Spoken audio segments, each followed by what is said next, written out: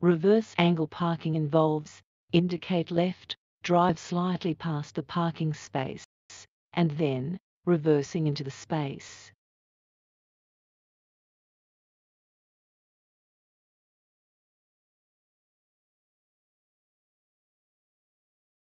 Find an empty car parking space and start indicating left.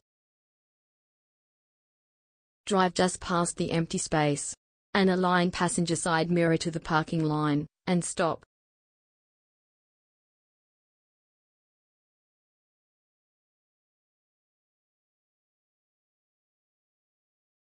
Turn the steering wheel to the right fully, and slowly move to the right, until left back corner of the car align with parking line A.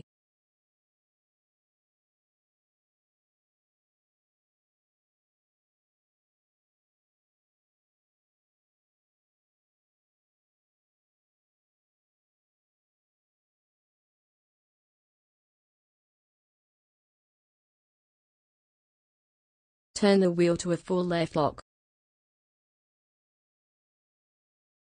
Reverse into the bay, until parking line B appears in your right mirror.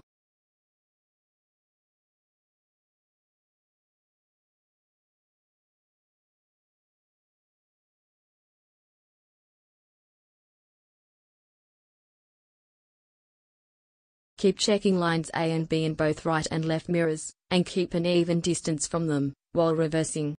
As soon as lines A and B look parallel with the car inside mirrors, straighten the steering wheel, and complete the reverse parking.